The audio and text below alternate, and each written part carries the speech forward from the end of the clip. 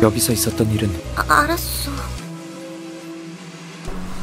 심쿵이야. 그래 그럼 우리끼리의 비밀이야 알았지? 어,